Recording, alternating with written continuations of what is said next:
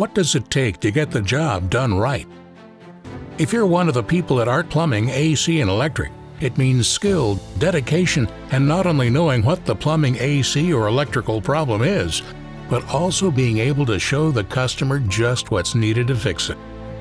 And above all, it means being there when you call. Art is there with what you need. Art can fix it.